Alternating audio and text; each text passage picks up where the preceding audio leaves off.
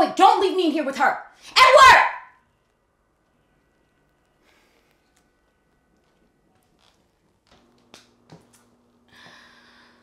Look, it's been really nice meeting you, but you know, I'm having one ripper of a day.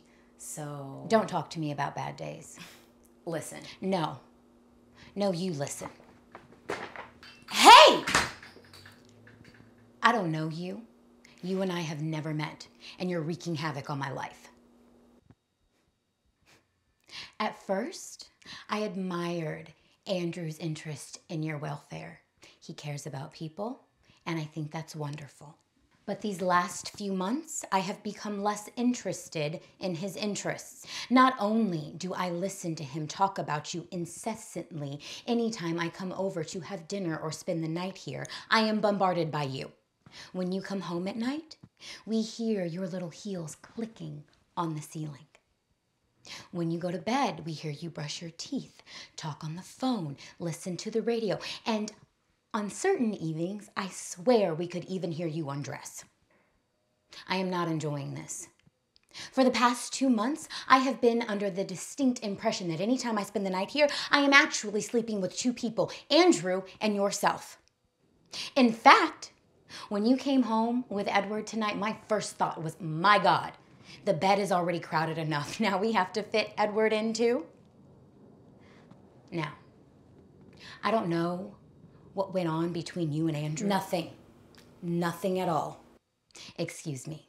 But clearly, that is not the case. And I want you out of my life. Is that understood? Where am I supposed to go? I don't care. I'll find you a better apartment. It'll be my pleasure.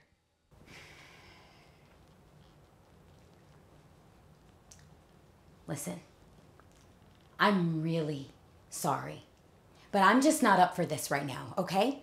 If I get mad one more time tonight, I, I, I, I just might die from it. So can we, can we chill out? Do you want a cup of tea or something? Do you have anything stronger? Scotch? Is that scotch? Yes. Yes, it is. I'll have scotch. Fine.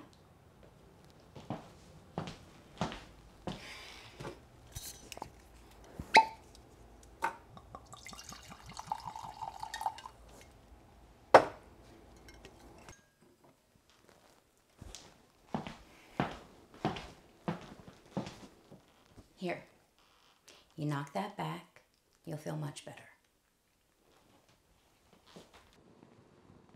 Thank you.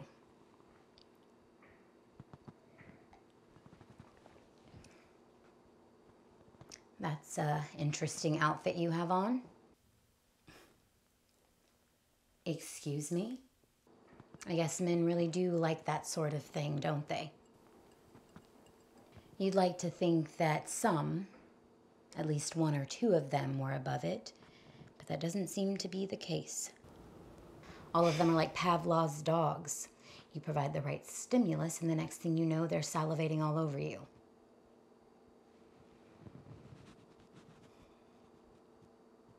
Don't those shoes hurt? Yeah. They kind of do. You don't wear them for comfort, do you?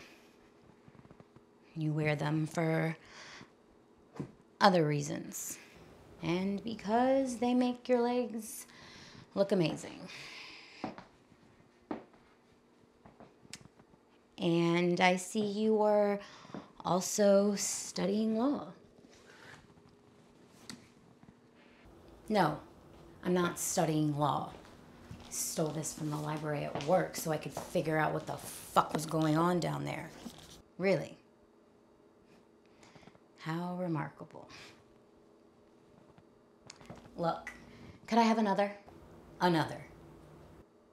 Please.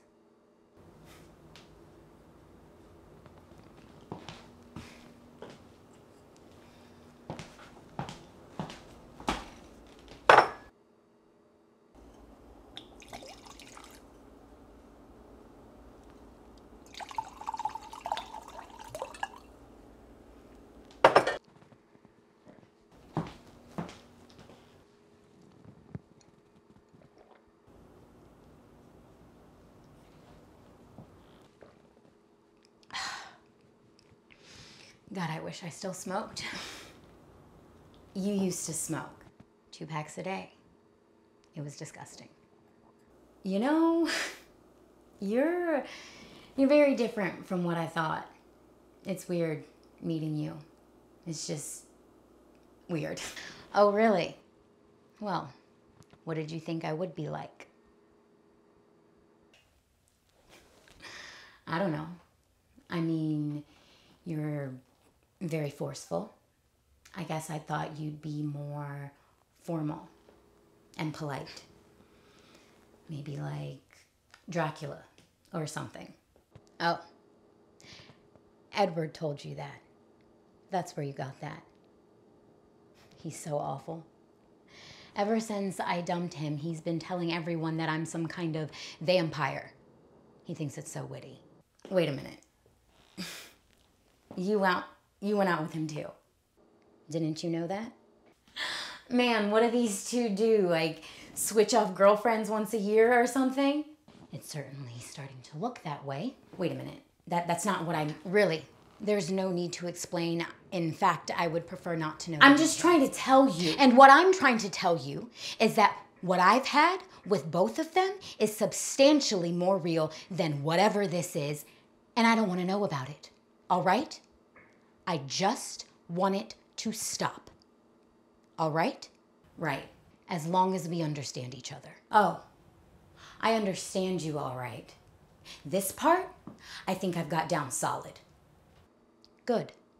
But what I don't have, you know, what I want to know is if you're so fucking real, Lydia, then why the hell are you up here? I mean, if you're so much better than me, then why even bother? You could just wait it out and I'll drift away like a piece of paper.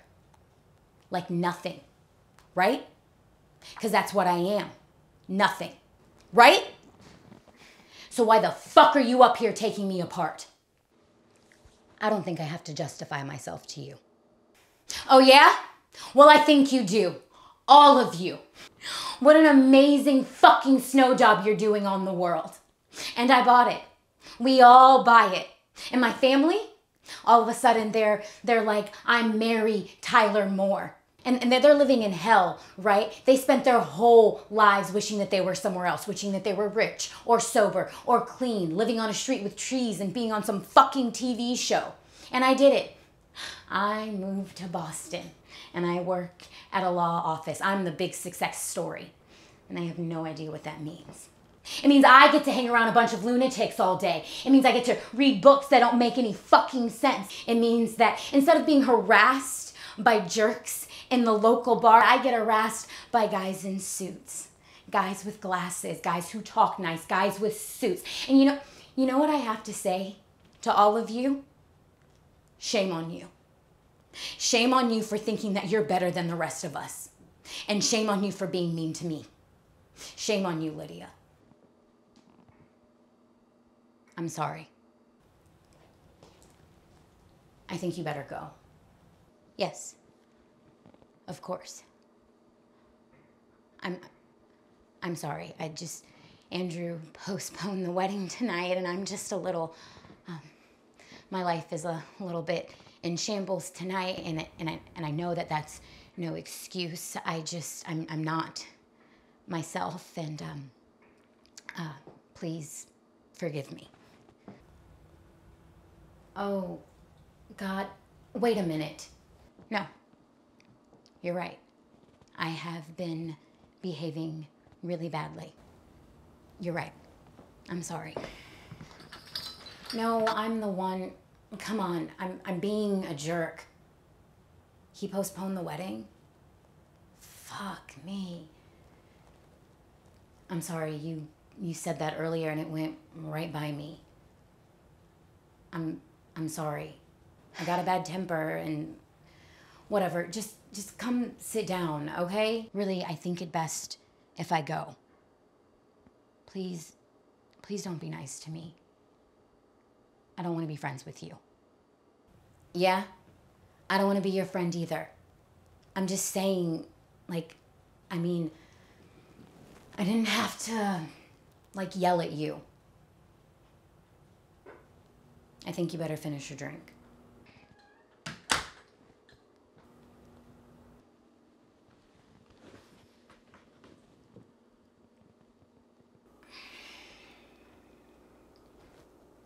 He's probably just nervous.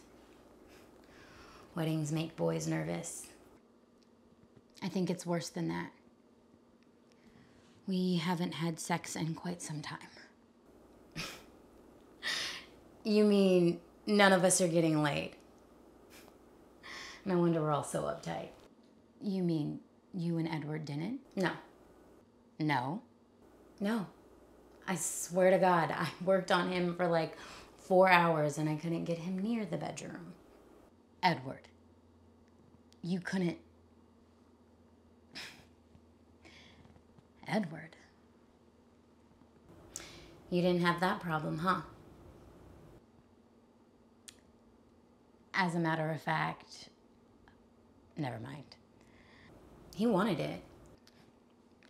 Yes, dear. He always wants it. Well, if he wouldn't sleep with you, you must have really made an impression on him.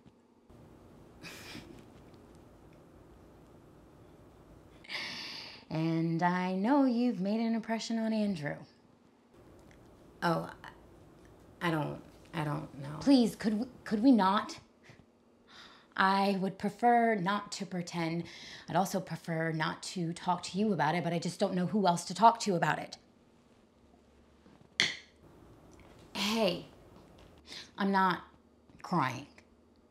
It's just, I can't talk to my family about this. They'll just gloat. They never liked Andrew. He wasn't good enough. Is that unbelievable? He's the best man I've ever met, and he's not good enough for them. He doesn't make enough money, and they certainly don't like his politics. Edward was the one that they liked. You can imagine. You know what my father told me when Andrew and I decided to get married? Never trust a man who thinks he can change the world. That's what he said. I don't care, really, I don't, but how can I tell them this? I always told him that he didn't understand. They just they just don't understand. Andrew saved me. He is my best self. He makes me my best self. How how can I tell them that they were right? They're not. No, I know. I know they're not. I it's just I'm confused. Yeah. Me too.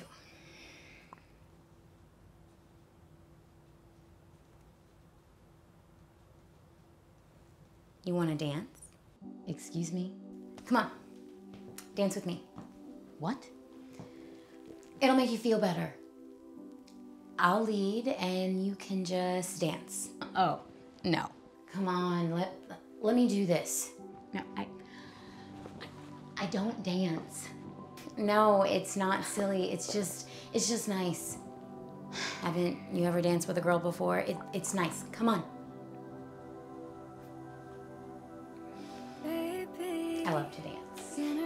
It's so fucking romantic, you know? It, uh, it always makes me want to have sex. Men are so dumb. They're so busy trying to get you into bed, they can't even figure that out. I mean, I'm, I'm not trying to make a pass at you.